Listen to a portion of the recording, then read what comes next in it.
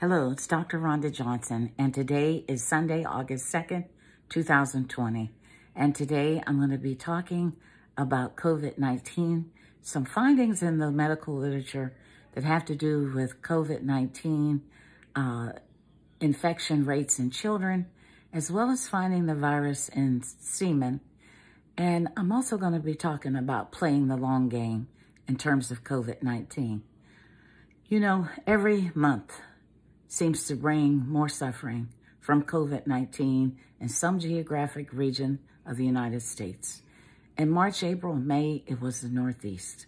Now it's the South, with 50-80% of cases in the United States, and in the West, with 23% of cases in the United States. Have you heard that we're currently averaging around 65,000 people who are testing positive every single day for COVID-19. Now, let's put that in some perspective. Because I live in Pittsburgh and we have a very popular football team and they play at Heinz Field. Now, 65,000 people who are testing positive every day for COVID-19, that's enough to pretty much fill up Heinz Field. Now, let that number sink in for a minute. Just think about that. This virus is out of control. Okay, moving on. Next, I want to share some new uh, reports coming out of the medical journals. Uh, you probably heard about this one on the news. This was a study that received a lot of attention because it involved young children. And they tested young children for the coronavirus. And the children had 10 to 100 greater fold amount of the COVID-19 virus fragments, not the live virus, just the virus fragments in their nose in comparison to adults. Now just think about little children and their little snotty noses and just imagine all of those children with COVID-19. Now, what does that mean? We're not quite sure, but the researchers suggest that young children can potentially be important drivers of COVID-19 transmission in the general population. So clearly we need to do a lot more testing of children to know what role they play in this pandemic. Now, men, you may want to sit down for this news. The COVID-19 virus has been recovered from semen, and COVID patients who have active infection and from men who have recovered from their COVID-19 infections. Now, at this time, we don't know if it has any impact on male fertility, and we don't know if this virus can be sexually transmitted. We will just have to stay tuned. But that is a certainly interesting finding. So, um, again, we'll stay tuned for that. Now, this pandemic continues to teach us more about ourselves, our politicians, our economy, our leadership, in comparison, the United States versus other similar nations, how we're handling the pandemic. It's teaching us about our mental health, our stress levels, our coping mechanisms, and it seems like we're just getting tested every day. So I want to use the term that I've been hearing a lot of, playing the long game for COVID-19. Now, those that know me know I'm not the best in terms of my sports literacy.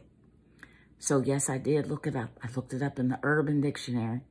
And it says the long game has to do with having a long-term plan, long-term goals, or doing things now that set you up for the future.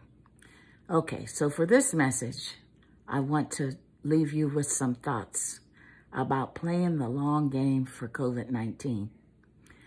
When you play the long game for COVID-19, every decision you make, you're aware of how that impacts you tomorrow. Now, it only impacts us but it also impacts our entire families. And we're all connected to a bigger community. So in essence, we're not just thinking about ourselves or in that moment, we're thinking about how our particular actions in the moment affect us today, but also how it impacts others in our lives for a long time. Because what we've learned that for many people, getting over COVID-19 is a long journey. That folks who have asymptomatic infection, and that's roughly 40% of people, are the lucky ones. But that means 60% of folks are having a hard time recovering from COVID-19. Now, stretching this a little bit, playing the long game during this pandemic can also mean how you're managing your life. How are you managing your relationships with your family, your friends, your significant loved ones, and your loved ones in general? What about the long game of politics? If anything, we've learned how COVID-19 is so political. Healthcare is political. The health of our nation and the health of our world is being managed politically. So what does the long game mean in terms of voting during this pandemic? Here in the United States, we have a very important election coming up in November.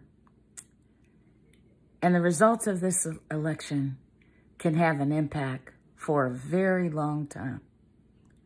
So playing the long games means thinking about your activity in this political process. Are you registered to vote? Is there something that you can do in the next three months to encourage voting amongst the people that you interact with? Another long game question has to do with the census. This is a year of the census, but of course it's been overshadowed like everything else by the pandemic. But the census is certainly the long game because being counted in the census can impact a lot of things for the next 10 years. It can impact dollars for schools, for community health centers, Head Start, jobs. It can affect congressional voting districts. Again, for the next 10 years. So if you haven't filled out your census, please do so. Play the long game. And how are you playing the long game in terms of being healthy during this pandemic? We know that obesity and diabetes greatly increase the risk of complications if we get COVID. Are you trying to get healthy at home during this pandemic? I hope so. Because folks, COVID-19 is here for the long game. Health experts say we're going to be battling this pandemic well into 2021 and perhaps in 2022 until the majority of the population of this world has some level of immunity to this horrible virus. So we've got to play the long game.